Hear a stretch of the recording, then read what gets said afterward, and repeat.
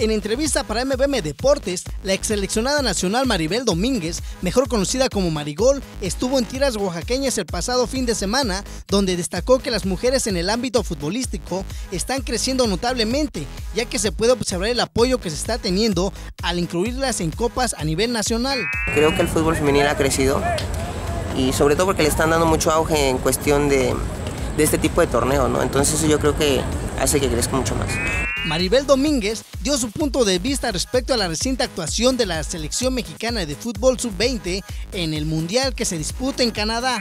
Que hemos visto a nuestra selección sub-20 que desafortunadamente quedó fuera del mundial, pero creo que muchas veces el fútbol es, em, es un poquito triste, un poquito malo, ¿no? Porque creo que a veces no se refleja en el marcador lo que a veces hace en el campo y para mi parecer eh, las chicas eh, contra Corea y creo que tuvieron el primer tiempo excelente, estuvieron llegando, Corea no llegaba y la oportunidad que tuvieron Corea pues la, la pudieron meter, ¿no? Pero yo me quedo contenta con mis compañeras. Al cuestionarle sobre si hace falta una liga profesional de fútbol femenil, fue clara y dijo que sí se necesita, pero se debe hacer paso a paso. Es obvio que falta una liga, eh, a lo mejor no tan profesional, pero bueno, ya está la Liga Mayor Femenil, que creo que es una de las más grandes de aquí de México y, que lo importante es eso, ¿no? Que empecemos poco a poco, que no queramos correr antes em, de caminar.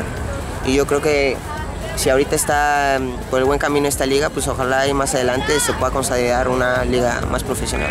Marigol fue la capitana de la selección femenina de fútbol de México.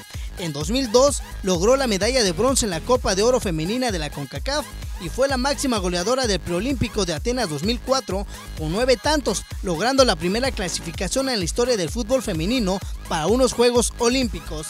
Para MBM Deportes, Alan Pacheco.